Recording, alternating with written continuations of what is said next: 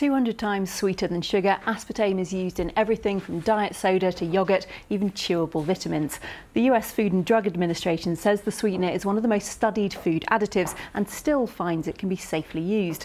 But aspartame hasn't been without controversy.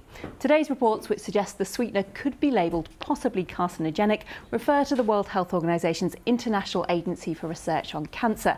That group is due to report on aspartame in two weeks' time.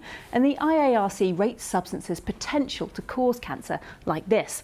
At the top are things we know to be carcinogenic to humans, things like tobacco, alcohol and sun exposure. Then there are things that are probably carcinogenic, and below that, and this is where sources told Reuters aspartame may be placed, are things that are possibly carcinogenic. Other things in this category include pickled vegetables, carpentry and exposure while working as a dry cleaner.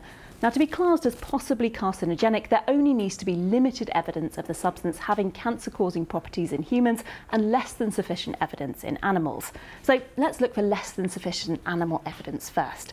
In the early 2000s, Italian researchers fed mice high levels of aspartame, and some more than 50 times the recommended human dose. They concluded more of those mice experienced malignant tumours, but the cause of those lesions was questioned. And in 2009, the European Food Safety Authority examined this research and still found there was no indication of any carcinogenic potential from the sweetener. So, what about aspartame's impact on humans then? Well, several studies have failed to find a link between artificially sweetened drink consumption and cancer.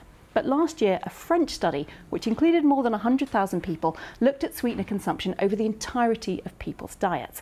And they found those who consumed more than average aspartame were 1.15 times more likely to develop cancer compared to people who didn't consume any. Now, that is a very small finding, but it could be that the group considers studies like this limited evidence. There is, however, another bigger issue here. Let's go back to the rating system. What's important to help us decide whether to smoke, a known carcinogen, or work night shifts, which is probably carcinogenic, isn't just the fact that a hazard exists. It's the level of risk involved that matters, how likely that hazard is to actually happen. And this isn't designed to tell us that at all. What will help unpick aspartame's risk is that in two weeks, another World Health Organization committee, the Expert Committee on Food Additives, will also set out their findings. They do look at these questions and set out recommendations for how much a person should consume. In fact, they already made a recommendation back in the 80s. That was people should consume no more than 40 milligrams of aspartame per kilogram of body weight per day. And a quick back of an envelope calculation tells us that limit would allow the average British woman at least 14 cans of leading diet soda every day. Now, we won't know until the 14th of July whether that recommendation will change. But today, the Deputy Chief Scientific Advisor for the Food Standards Agency said aspartame is considered safe at current permitted use levels.